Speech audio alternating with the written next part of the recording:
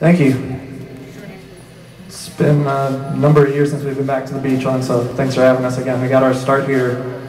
We used to basically live down the street, yeah, on Easter Day. Uh, I used to live on Nottingham Road.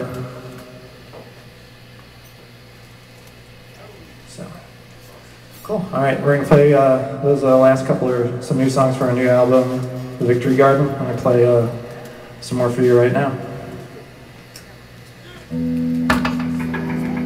Which, by the way, you can get download cards for at the merch table back there with our very friendly merch people.